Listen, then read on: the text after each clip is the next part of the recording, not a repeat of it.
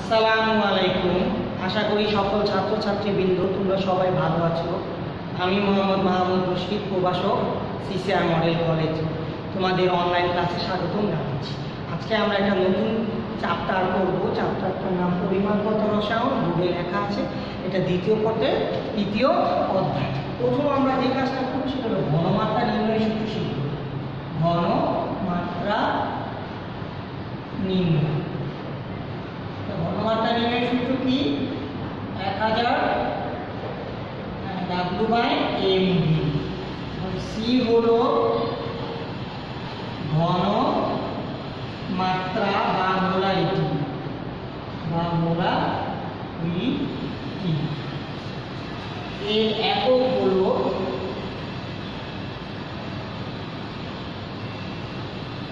মোল per litre বা মোলা litre ইয়ার W হলো ভর বা পরিমাণ এর একক হলো গ্রাম ভি হলো আয়তন এর একক হলো এমএল সিসি সেন্টিমিটার কিউব তিনোটা একই। আর এম হলো আণবিক ভর আণবিক ভর এর একক হলো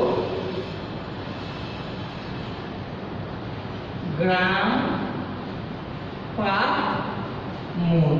আশা করি সূত্রটা যা অর্থ তোমরা সবাই তা বুঝতে পেরেছ।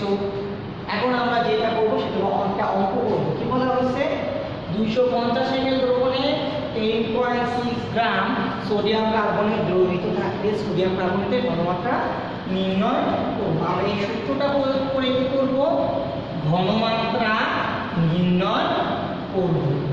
তো যদি আমরা এই সূত্রটা প্রয়োগ করে ঘনমাত্রা নির্ণয় করি তাহলে কার ক্ষেত্রে সোডিয়াম কার্বনেটের ক্ষেত্রে সোডিয়াম কার্বনেটের ক্ষেত্রে সোডিয়াম কার্বনেটের ক্ষেত্রে হ্যাঁ আয়তন হ্যাঁ ভি সমান দুইশো পঞ্চাশ এমএল ভর টেন পয়েন্ট সিক্স গ্রাম। আণবিক ভর বড় হাতে এম সোডিয়ামের ভর তেইশ কয়টা আছে দুইটা কার্বনের ভর বারো আছে একটা আর অক্সিজেন ষোলো গুণ তিন। টোটাল কত আসে? একশো ছয় গ্রাম পার কি মোল এখন ঘনমাত্রা সি আমরা জানি ওই সি সমান এক হাজার ডাব্লু বাই এম ভি তাহলে আমরা যদি মান বসাই এক হাজার ডাব্লু ছিল তিন পয়েন্ট সিক্স আণবিক ভর ছিল কত একশো ছয় আয়তন ছিল কত দুশো পঞ্চাশ এটা ক্যালকুলেশন করলে জিরো পয়েন্ট ফোর মোলার বা মোল পার লিটার দুটোটাই আমাদের এখন জানতে হবে যখন যেটা কোশ্চেন ইউজ করা হবে সেটাই ব্যবহার করতে হবে আশা করি এই অঙ্কটা তোমরা সবাই বুঝেছ এখন আমরা আরেকটা টপিক্সে চলে যাব সেটা হলো দ্রবণের ক্ষেত্রে। সেক্ষেত্রে শতকরা দ্রবণের ক্ষেত্রে। এখন যদি শতকরা দ্রবণের ক্ষেত্রে যাই, তাহলে আমাদের ক্ষেত্রে যে লেখা থাকে ten percent W by B SCL দ্রবণ। এটার মিনিং হলো একশো এমএল দ্রবণে এসসিএল আছে এসসিএল আছে কত গ্রাম? দশ? গ্রাম। তারপর যদি আবার লেখা থাকে ten percent V by V SCL দ্রবণ। তাহলে এটার মিনিং কি? একশো এমএল দ্রবণে এসসিএল আছে। দশ এম যদি লেখা থাকে ten percent W by W SCL দ্রবণ তাহলে এটার মিনিং কি?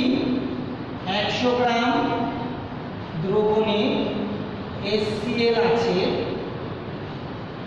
কত গ্রাম? দশ গ্রাম। এই যে টপিকসটুকু পড়ালাম, এটা দুই হাজার আঠারো সালে এমসিকিউতেও আসছে এবং বিভিন্ন সিকিউতে এইটার তথ্যগুলো ব্যবহার করা হয় তাহলে এটার মিনিং কি?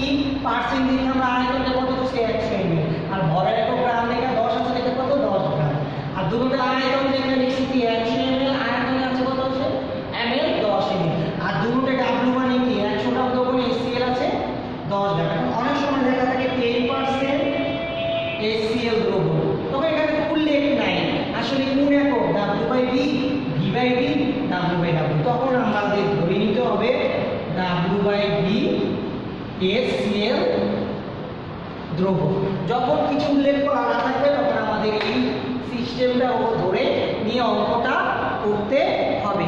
আশা করি যতটুকু পড়ানো হয়েছে, তোমরা সবাই বুঝতে পেরেছ।